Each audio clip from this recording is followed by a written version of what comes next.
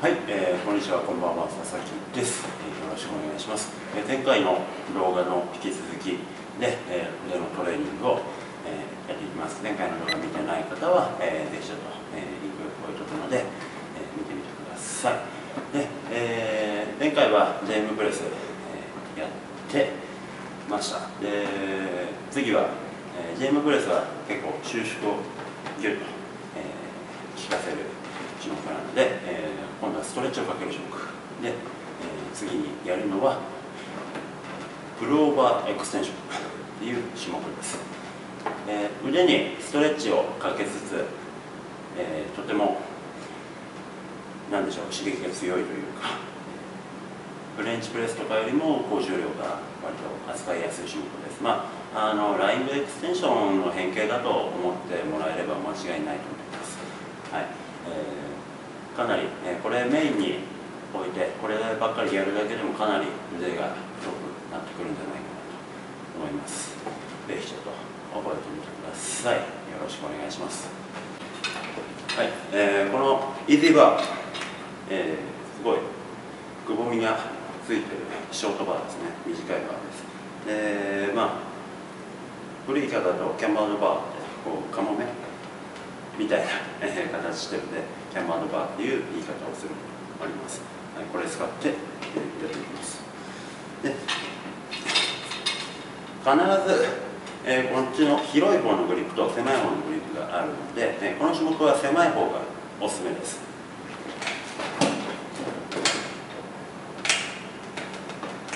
バーを持って寝転がっていただいて。で親指はまあこんな感じ。サムレス親指を外しておいていただいた方が無難だと思います。でこの状態から肘を、まあ、伸ばしたままってでもあの伸ばしきらなくてもいいです。軽く曲がってる状態にしてで頭の上に落としていきます。でこの時に手首を抜かないでください。手首が反っちゃってるともう肘が折れて力が抜けます。もう背中に負荷が乗っかっていっちゃうので手首を肘が曲がってもいいんです肘は曲がってもいいんですけど手首がしっかりと力が入ってて三頭筋で重りを腕で受け止めてる状態重りの刺激が腕に入ってるのを確かめながら下ろしていって完全にストレッチがかかりきったところから大体おでこの真正面ぐらいまで輪を戻します。あんまり体の方まで持ってきちゃうと負荷が完全に抜けきちゃうのでおでこの辺りで止めていきましょう。ここからまた落としてフルストレッチ伸ばす。フルストレッチ伸ばす。こういう動きですね。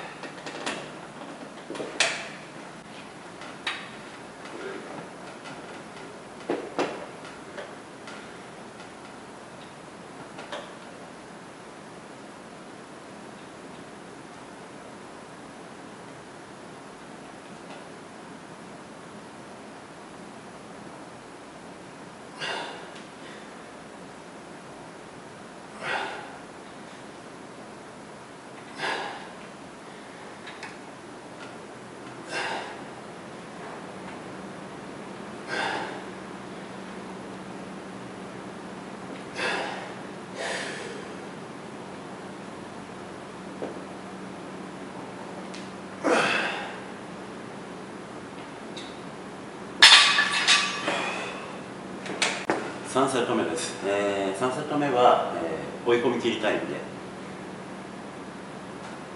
最後の、えーまあ、限界まで来てもうここから先ほどの通りに上げられないよっていうところまで、えー、刺激が入ったら、えー、今度は下ろすところ、えー、ストレッチがかかったところまでは同じ動作をしてそこから胸の前まで一度持ってきてプレスに切り替えます。でここからさらにストレッチをまたかけてっていうので何レップスかを、えー、さらに、え、追い込んでいくっていうふうにして、え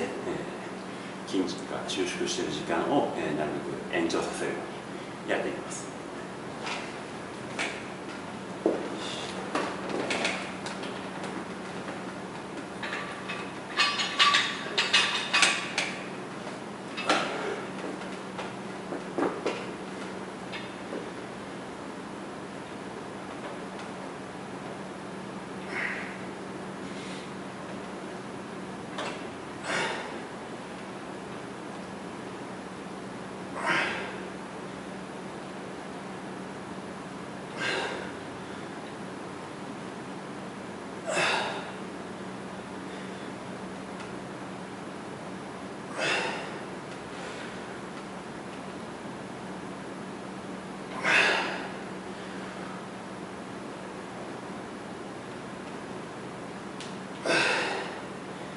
からいきます